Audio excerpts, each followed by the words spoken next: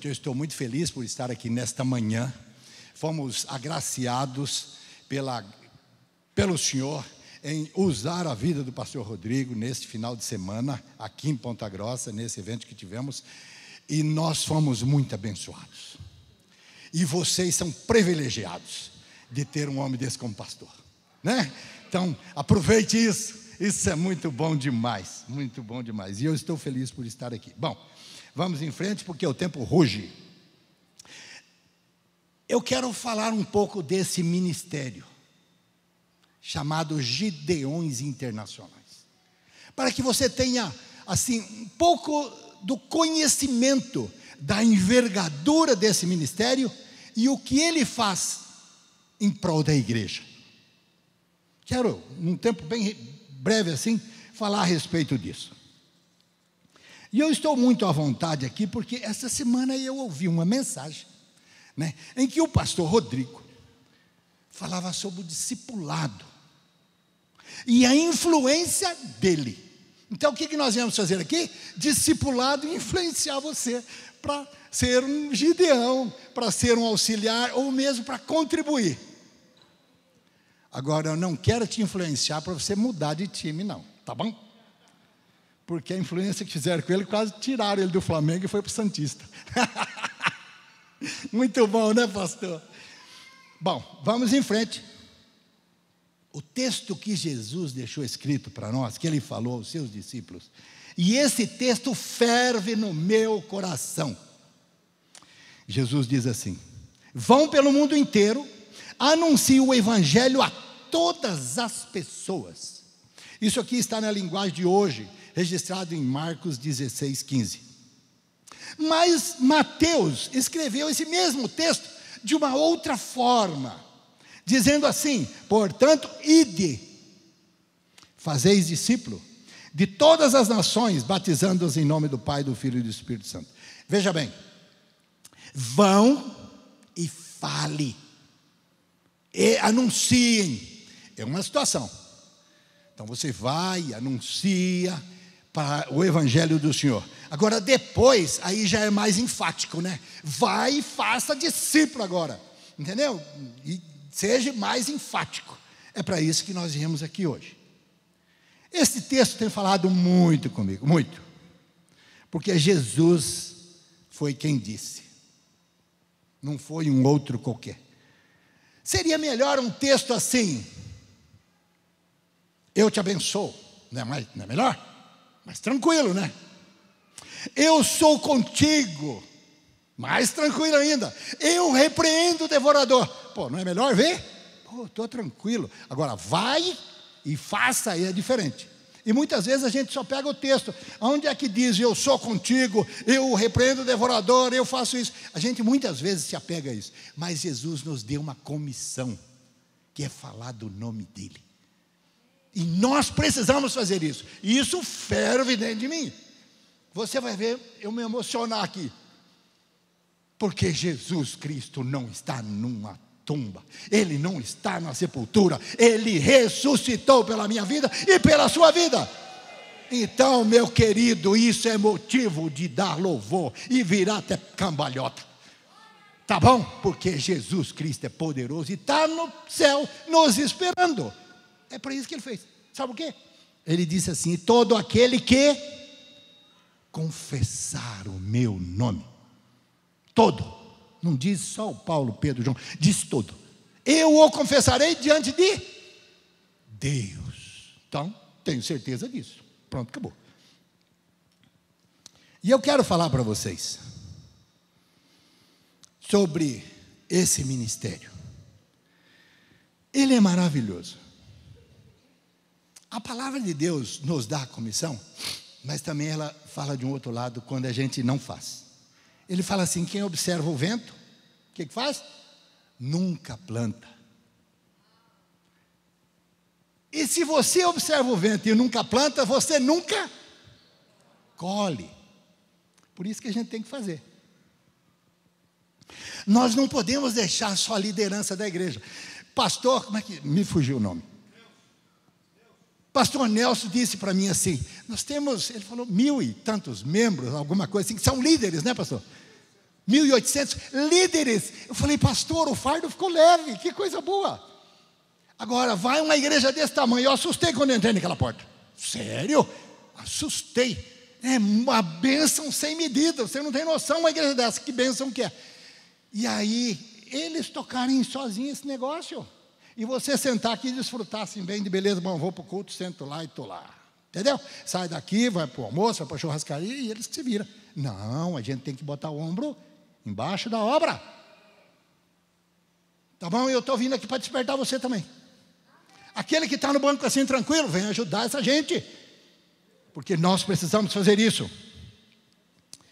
E aí eu quero então falar desse ministério maravilhoso, que surgiu há 124 anos e que está em 200 países ao redor do mundo e territórios e que imprime esses Novos Testamentos em 109 línguas e dialetos diferentes. E vou falar uma coisa, eu vou pedir para eles levantar. É, irmão Adier e irmã Elizabeth, levanta, por favor. Levanta, levanta, por favor. O outro casal que faz parte dos Gideões estão aí ou estão numa outra igreja? Então, vocês, olhem para trás. Vocês sabiam que este casal faz parte desse ministério que foi fundado há dois séculos atrás? Vocês sabiam? Essa gente é uma bênção. Pode sentar. Eles investem parte do dinheiro deles, eles investem o tempo deles para imprimir e distribuir a palavra de Deus. Eles fazem isso. Você precisa saber disso. Por isso que eu vim aqui contar para você. Nos hospitais, nas escolas, nos quartéis, nos presídios, eles fazem isso. E eu pedi que o pessoal da mídia me ajudasse e colocasse agora algumas imagens que eu passei para eles lá. Olha aqui. Olha isso, gente. Aqui eles estão distribuindo numa porta de uma escola, porque as escolas não nos permitem mais, muitas delas, entrarmos dentro da escola. Olha quem que está nessa foto. O que, que é essa mulher? Você não tinha noção que ela fazia isso. Ela faz isso. Além dela cuidar da casa dela também, da família inteira. Passa mais imagens, por favor. E lá, e líder de cela também. Meu Deus do céu, agora deixou até no chulé. É, olha quem está aqui, na porta desse ônibus.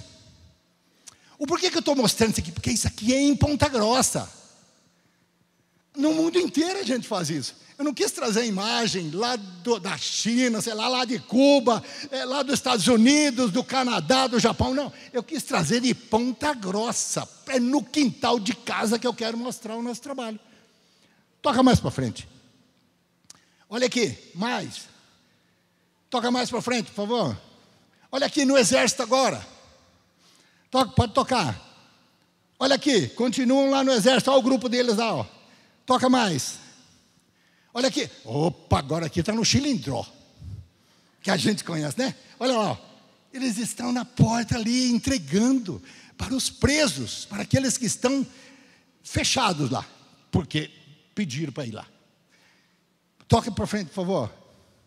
Aqui eles estão no pátio entregando para os que estão recruta ali. Está fechado ali. Tá? Essa aqui é a penitenciária, como é que é, rural? Colônia penal, isso, obrigado. Pode tocar para frente. Aqui já são as funcionárias que cuidam da limpeza de um hospital. Olha aí, ó, cada um, e elas recebem o branquinho também porque estão na área de saúde, tá? Toca para frente, por favor.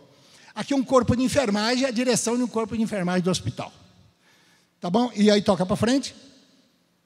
Aqui eu estava fazendo evangelismo pessoal, que eu vou contar uma historinha para vocês muito bacana. Isso aqui eu estava lá no interior de Alagoas, fazendo isso aqui. Eu fui numa convenção lá e parei na estrada tomar água de coco e não perdi tempo. Pode tirar, muito obrigado. Isso, essas imagens são para vocês verem o tipo desse ministério, quem somos. E o Adir e a irmã Terezinha, Elizabeth, desculpa, faz parte desse trabalho. Agora, quero falar uma coisa para você. Pelo último censo, Ai, para relógio em nome de Jesus. No último tempo, no, no último censo, nós tínhamos 552 mil habitantes nessa região, que compreende Ponta Grossa e a área de abrangência dos campos de Ponta Grossa. Nós distribuímos para 2% da população. Ah, mas como é que vocês sabem? Nós vamos nas escolas, distribuímos para o quinto ano. Aí nós temos a base. Nós vamos nos presídios, nós vamos no quartel, no exército, na polícia, nos hospitais, nos hotéis. Quando você viaja, tem lá. Outro dia um amigo meu falou: Nossa, eu viajei no país lá das. Meu, tinha um Novo Testamento lá. Eu falei: Claro, meu, nós estamos em 200 países ao redor do mundo. Entendeu? Eu quero ver você achar um lugar que não tenha. Aleluias. Você só vai achar onde não tem naqueles países que nem existe o país. Aí nós não estamos lá. Significa que 250 mil habitantes, 11 mil Novos Testamentos são distribuídos nessa região aqui. 11 mil. Você sabia disso? Você não sabia. Mas eu quero contar mais um negócio para você. Cada Novo Testamento desse aqui custa cinco reais. Cinco reais. E eu quero dizer uma coisa para você. Esta igreja, nós chamamos de igreja parceira. Esta igreja é parceira do ministério. Ela contribui mensalmente do seu dízimo, ela contribui para a impressão desse Novo Testamento. Quando você dá o dízimo, quando você oferta, indiretamente está indo para onde? Também para o evangelismo, através do Novo Testamento. Mas você vai ter hoje a oportunidade de fazer mais se você quiser. Porque o que eu quero dizer para você é o seguinte: 11 mil Novos Testamentos nessa região, a cinco reais, são 55 mil reais. Isso não é uma vez só, não. Todos os anos. Todos os anos. Nós distribuímos no Brasil hoje 4 milhões e 200 mil por ano. Mas de onde vem essa grana? Nós contribuímos, as igrejas contribuem, nos ajudam. E quando falta uma queirinha, os irmãos americanos falam: quanto faltou? Faltou X quanto? Eles mandam para nós. Eles têm o coração aberto para nós. Não sei até quando, porque a China está aí de portas abertas, tem que mandar a Bíblia para lá, lá tem um bilhão e meio de pessoas. Então a gente tem que passar sebo na canela, desculpa da expressão, e fazer o nosso quintal de casa. Quero dizer para você, nós fazemos isso aqui em Ponta Grossa, 55 mil reais. Eles não conseguem fazer tudo isso. Da onde vem o resto? O campo a qual eu pertenço, em Curitiba, o, o campo a qual eu pertenço contribui com 100, 75 eh, mil reais por ano. Nós nos cotizamos em 15 pessoas. Desses 75 mil, nós usamos 25 mil, porque nós distribuímos 5 mil. Aqui, nós saímos de lá, a região ali de Jaguaraíva, Arapoti, Venceslau, Brasil, sem Gés, é nosso. Nós saímos de lá e vamos fazer ali. E nós fazemos aqui em Ponta Grossa também. O resto que sobra nós fazemos aqui. Isso significa que eu estou fazendo missões aqui em Ponta Grossa, contribuindo para que membros, que aceitam, pessoas que aceitam Jesus Cristo, venham para dentro desta igreja. Você não sabia, mas eu contribuo com essa igreja. Entendeu? Nós fazemos isso. Por quê? Porque eu amo esta obra e quem morreu na cruz foi Jesus Cristo. E pronto, eu não sou dono de igreja. Eu quero é que as pessoas aceitam Jesus Cristo. Isso que eu quero. Porque aí eu chegar lá no céu e o Senhor falar: ah, o que eu botei na tua mão, o que, que você fez? Misericórdia, eu estou frito. Entendeu? Então o que ele botou na minha mão e eu vou influenciar a pessoa, vou falar. Porque é a missão que ele me deu. E se nós colocarmos o ombro embaixo dessa obra, vai ficar mais leve. É isso que eu quero. É isso que eu quero. Outro dia eu vi numa palestra de um, uma pessoa que fala muito para os jovens. E eu fiquei assustado, pastores. Fiquei assustado. Esse irmão Falando na palestra dele, ele fala para jovem em escola. E aí eu assisti na palestra, e estava passando ao vivo na escola, na, na, na, filmagem. E ele fez a pergunta aqui: quem aqui nesta, nesse grupo de alunos, tinha mais ou menos, ele estava num auditório, uns 100 alunos mais ou menos assim. E aí ele perguntou: quem aqui já quis tirar a sua vida? Eu assustei, porque eram alunos de 13 anos, 14. Você acredita que a frente ficou cheia de alunos? E na hora que ele fez a pergunta, ele levantaram a mão. Ele falou: Não, não, não. Vocês não entenderam. Eu disse: quem aqui já tentou o suicídio? Tirar a sua vida. Fica de pé. Ah, mas aí todos levantaram. Gente, foi assustador. Eu fiquei apavorado, porque eu entrego o Novo Testamento na escola e não sabia disso. Então, quando você contribui, a gente imprime, o Novo Testamento chega na escola, indiretamente você está atingindo essa criança. Eu quero, quando a gente chega na escola para distribuir a Bíblia, eu pergunto assim: quem aqui sabe o que está escrito no Salmo 23? Você acredita que ninguém fala? Isso prova que as casas não falam da Bíblia. Quem aqui sabe o que, que, que diz em João 3,16? Esses são textos básicos. É, a gente costuma falar que isso é texto áureo, né? Isso é texto áureo. Não falam, não sabem. Mas volta e meia a gente acha uma abençoada lá. E esses dias a gente, numa sala de aula, uma, uma criancinha, ela falou, tio, Salmo 23 eu não sei, nem o João, mas eu posso recitar o Salmo 91. Eu falei, eita glória! Pode. Ela começou, aquele que habita no esconderijo do Altíssimo. Mas a criança era um pouco maior do que essa mesa. A sombra do Onipotente descansará. Aquela professora quase pediu para morrer. Sério, porque ela não sabia e a criança sabia. Eu falei, Deus é maravilhoso. Isso pode, só pode ser filho de crente, não pode ser outra coisa. Então a gente fica muito feliz quando isso acontece. Agora eu quero dar um testemunho para vocês. É, esse testemunho, eu dividi ele em seis partes. É rapidinho, tá? Rapidinho. Fique tranquilo, que o tempo está correndo atrás de mim. O, o seu Oscar, ele conta que ele trabalhava numa empresa de reciclagem de lixo. Lá em Curitiba nós falamos o lixo que não é lixo.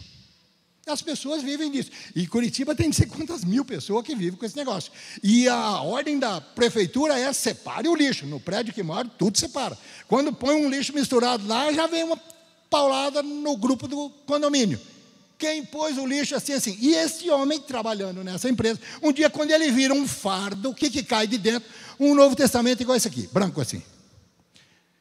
Ele pegou aquele livro e falou: Mas nossa, dá dó destruir esse livro aqui, gente. E alguém pode ter jogado lá, porque de repente veio de um hospital, de alguma coisa assim, poderia ser lixo hospitalar, mas ele não quis saber.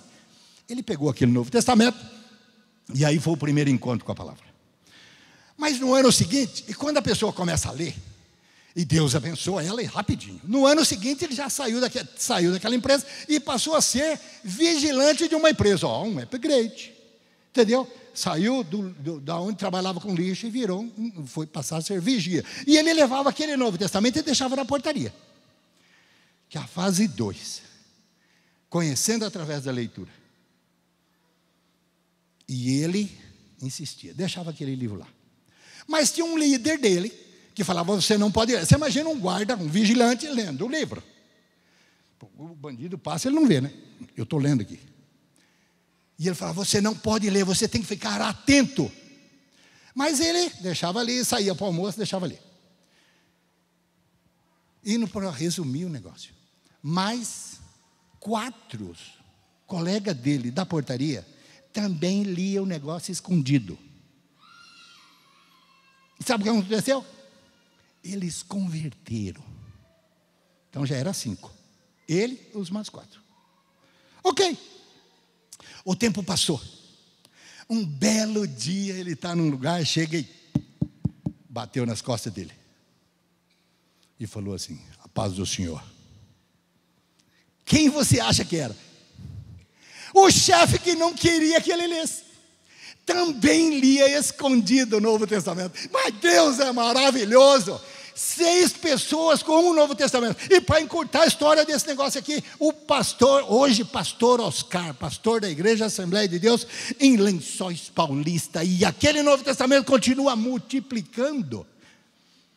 Entendeu? Você viu como é que é?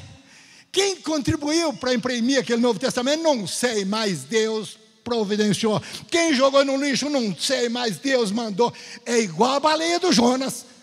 Não sei, mas ele foi para lá e saiu do outro lado. Bom, e eu quero continuar falando. Eu tive num. Eu não vou citar o nome da pessoa, porque com esse negócio de TV passando hoje, a gente pode, né? Estar é, tá falando e a pessoa pode estar tá vendo do outro lado do mundo, não sei. Mas eu indo para Brasília, E eu sempre que eu viajo bastante, embarco no avião e eu sento no corredor do meio. Por quê? Porque durante o voo, servindo. Eita, relógio que não para. Servindo o café, e aí terminou o café, eu já levanto e vou lá atrás e faço da- de todos os tripulantes do avião. Não perco a oportunidade. E aí estou ali, o banco vazio aqui do lado. Fechando a porta do avião, entra uma jovem senhora. Entrou, tal, tal, veio. Dá licença, senhor. Pois não. Sentou lá no canto, uma apostila grossona, assim, sabe? Escrito na capa dela assim, FGV. Sabe o que é FGV? Fundação Getúlio Vargas. Essa mulher só pode ser CDF, porque não ia andar com um trem desse.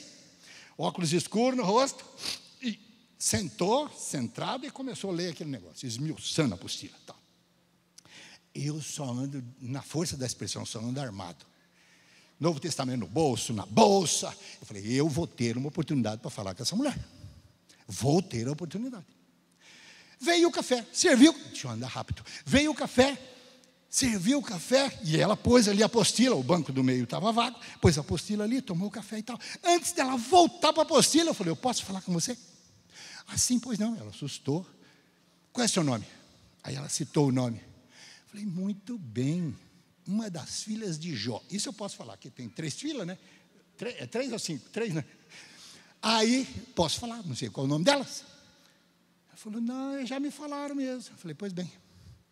Eu falei, eu posso te dar um presente? Pode. Entreguei para ela o Novo Testamento. Mas no início do Novo Testamento tem aqui assim, ó. Aonde encontrar auxílio quando? E a vida daquela mulher estava virada de ponta cabeça. Quando eu comecei a falar assim, ó, na angústia, na ansiedade, entendeu? Ausentando-se do lar, em dificuldade, desviado, deprimido, tudo. E aí tem o texto, o lugar e onde lê lá dentro. Quando eu olho para ela, a lágrima desceu embaixo daquele óculos grandão, desceu assim, ó, escorreu. E eu já não aguentei também, né? Comecei a chorar. O que, que eu fiz? Eu não, não é, é, tomei nenhuma atitude, só falei assim: eu posso orar por você? Claro, a mulher já estava chorando de frente à Bíblia. Não era de frente comigo, de frente com a Bíblia, é agora mesmo. Posso orar por você? Pode. Fiz assim com a mão. Quem pôs a mão na minha? Ela, não foi eu que peguei na mão dela. Fiz assim, ela pôs a mão na minha mão e orei por ela. Voltei para o meu canto, enxuguei as lágrimas e ela continuou chorando. Aí ela não leu mais a apostila. Quem olhou falou: deu B.O. no casal. Deu B.O. ali. Tudo tocamos e tal. Desceu no aeroporto, e normalmente a gente desce todo mundo junto, né? Porque por causa da poltrona e tal. Quando chegou no final, eu falei: olha, eu tenho uma agenda. Se você não tem, eu vou dar uma dica para você. Uma agenda diária de oração. Anote seus pedidos lá. E no final do ano, no último dia do ano, você senta com a sua família e analise o que, que Deus fez naquele ano. Você vai assustar o que Deus fez na sua vida. Porque a gente se esquece. Eu falei para ela, eu tenho uma agenda de oração, você tem um pedido especial que eu possa anotar na minha agenda de oração, pelo menos um mês eu vou orar por você. A minha vida é um problema. Anotando, tchau, foi embora. Você viu como é que Deus faz? Deus preparou 36 mil pés de altura para aquela mulher receber uma Bíblia. Aí eu não recebo uma Bíblia na terra em lugar nenhum. Ah, vai receber no ar, sem conversa. Vai receber. Vamos para o final. E aí eu quero dar um testemunho aqui para encerrar. Tem que, ah, que coisa boa. então para o relógio que eu vou falar mais meia hora, tá? Tudo bem. Pessoal da mídia, para o relógio, desliga aquele negócio. Mas eu quero falar então de um jovem. Ontem eu dei uma pincelada rápida. Aliás, aquela mensagem eu tive que mudar ontem em meia hora toda. Ela estava pronta a semana inteira. E Deus me incomodou de um jeito. E eu mudei ela em meia hora para a gente falar daquele jeito. Mas eu quero falar para vocês de um jovem que eu sou bem amigo dele. No ano de 77, 78, aliás. Esse jovem estudava numa escola em Maringá, fazia o segundo ano da escola técnica. Certo dia entra na sala de aula uns senhores distribuindo o Novo Testamento. Entregando, e eu fiquei olhando. Quando chegou Aquele jovem, aliás, né, eu falo, aquele jovem ficou olhando. E aí, chegou na vez dele, ele pegou, olhou assim, apertou na mão e disse: Um dia eu serei um homem desse. Aquele jovem estava fora da igreja. Ele morava numa república, mais oito jovens. Ele levou aquele Novo Testamento e começou a ler pelo Salmo. Começou a ler, foi lendo, mas no Salmo 27, 4 diz assim: Uma coisa pedi ao Senhor e a buscarei, para que eu possa morar na casa do Senhor todos os dias da minha vida e aprender no seu templo. Foi a gota d'água. Aquele jovem voltou para a igreja, reconciliou-se, e ele estava um dia num banco do lado assim, na escola dominical, entre os gideões. E ele conta que eles falaram, como eu estou falando. Quando terminou, ele foi lá fora e falou: Como é que eu faço para ser um gideão? Falar, e ele dizendo: falou, Amanhã você procura não sei quem, em tal lugar, tal, tal. No outro dia, 8 horas da manhã, ele estava lá no endereço combinado e aí a, e a pessoa que ia receber esse jovem era o secretário da prefeitura, de administração. Só recebia com audiência. O jovem chega lá e fala: Eu quero falar com o secretário. Mas o senhor tem audiência com ele? Não, não. Diga que é sobre os gideões. Quando ela falou isso, o secretário falou: ah, então entra, tem horário livre para ele. Aquele jovem sentou na frente daquele homem. E sabe qual foi a primeira pergunta dele? Quanto eu pago para ser um gideão? Falou, nada, você não vai pagar nada. Você só vai contribuir. A gente não paga para ser gideão. A gente contribui, é diferente. É igual dízimo, você não paga, você devolve. Olha eu puxando a sardinha para a igreja. Você devolve, é bênção. Você vai contribuir, você não vai pagar. Ok, ele entrou para o ministério. O tempo passou. E eu quero resumir. Aquele jovem sou eu. Aquele jovem sou eu, porque a palavra do Senhor não volta vazia, ela faz o que precisa e ela transforma a vida. Isso fazem 40 anos e eu vivo esse ministério. Eu vivo, quero ganhar almas para Jesus até o último momento da minha vida. E quando eu estiver num leito da enfermidade, não sei, em que o enfermeiro falar, você está muito mal. Eu falo, então está aqui o teu Novo Testamento, porque eu estou indo para o meu Senhor. Tchau. É isso que eu quero fazer. Tchau, estou indo embora. Mas entrego o último para você. E se cuida, porque para onde eu vou, não sei se você vai. Vamos parar. Você pode somar com a gente, sendo um Gideão. Qualifique-se. Nós temos dois casais nessa igreja. Já estou terminando, tá? Falta oito minutos para onze e meia, estou terminando. É, nós temos dois casais nessa igreja. Essa igreja é enorme, nós podemos ter 20 aqui, gente. Vamos somar com esse casal, pelo amor de Deus. Senão eu mudo para Ponta Grossa. E já falei para o pastor, e falo com o meu pastor assim: ó, pastor, eu vou ter que mudar de igreja. Então, amados, venha somar conosco. Contar, outro dia distribuímos num colégio em Curitiba. Aí à noite, outro dia não, faz um bom tempo já, porque o telefone era. A gente ainda tinha telefone fixo em casa toca o telefone à noite. E a gente, antes a gente carimbava eles com o número nosso. Hoje não dá mais, né? Porque esses negócios que andam por aí. Toca o telefone. Do outro lado, um aluno, 13 anos. Ô tio, tudo bem? Falei, tudo bem. Vocês estiveram na igreja, na igreja, no colégio hoje distribuindo Bíblia. Tivemos. O, o negócio é o seguinte, tio, eu quero ser esse negócio de Gideão aí. Como assim? Sim, eu quero ser um Gideão.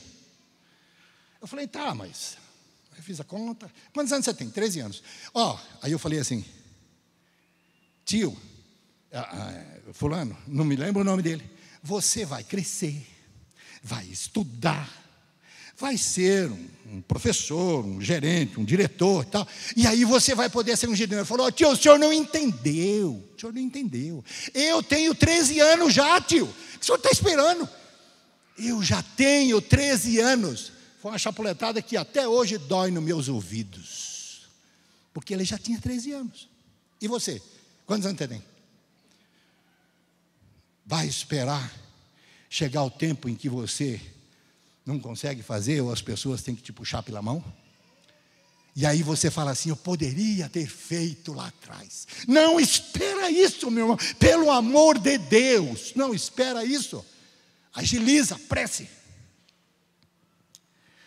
Como eu disse, a igreja já é parceira. Vai ser colocado um QR Code aqui e o pastor vai administrar essa área e você pode contribuir. Concluindo, orem por portas abertas. Escolas, colégios, presídios, hospitais. Venha somar conosco, faça diferença ganhando vidas para o Senhor Jesus Cristo, o dono da obra. Que Deus abençoe. Amém.